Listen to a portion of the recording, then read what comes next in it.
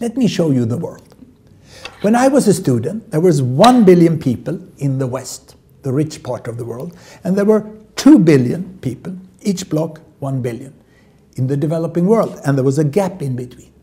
What has happened during my lifetime is that we became 4 billion more in the world, and the richest became even more rich. Where have these extra ended up? With 1 billion is actually where the West used to be, like successful China, Brazil, Turkey. Huh? They acquired the Volvo company. So we know that they are just back of us. And three billions are here. They have a relatively decent life. They're two child families.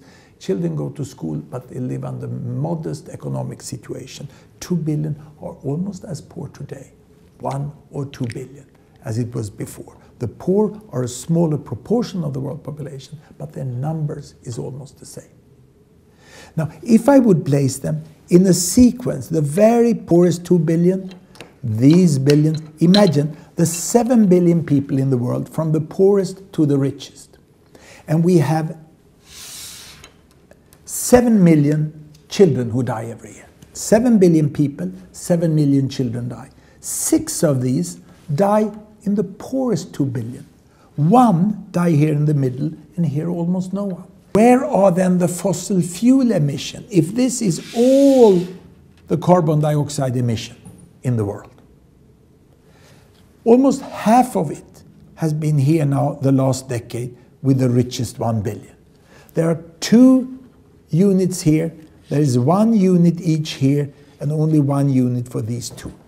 It's very unevenly distributed into this direction they really emit a, a, lot of carbon dioxide. And these ones are getting so rich, so they are starting to emit more and more. Uh, so what we see now is that we see an addition here because they copy what the richest do.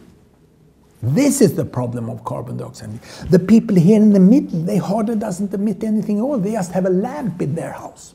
And the poorest, almost nothing.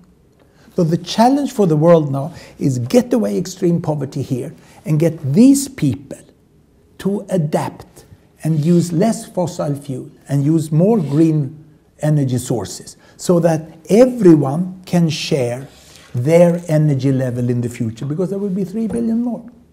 Then population growth will stop. And these one will get richer. They will move up here. Huh? They will come on top.